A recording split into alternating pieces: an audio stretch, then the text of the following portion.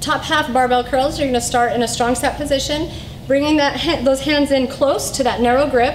Elbows come forward a little bit, pulling the shoulder blades back, locking in the, the set position.